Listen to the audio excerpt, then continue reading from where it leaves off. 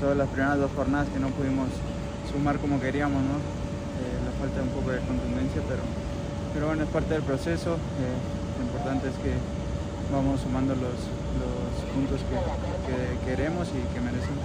Oye, este Cruz Azul, perdón, perdón, este Cruz Azul trae una inercia diferente a, a- a otros equipos, Carlos. Es un equipo que está provocando esto, ilusión. ¿Ustedes están igual, ilusionados? Sí, desde, desde que empezó la temporada ¿no? hablamos de, de ese cambio, de, ese- de esa energía que, que sentíamos dentro del plantel y, y bueno, felices por, porque lo estamos demostrando.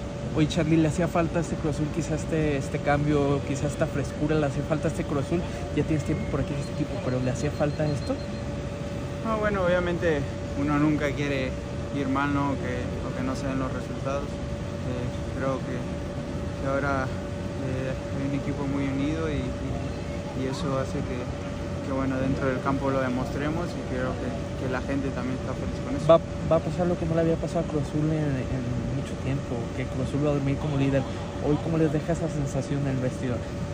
Obviamente mucha felicidad porque, porque creo que lo trabajamos, eh, lo buscamos y, y bueno, lo que digo, ¿no? Seguir, seguir queriendo eh, mejorar, seguir con esa ambición de, de- de hacer cada vez mejores partidos y, y bueno, eh, felices con eso. Oye, Charlie, viene una semana importante León, pero la próxima semana es enfrentar al América, que es el partido esperado ¿no? por toda la afición.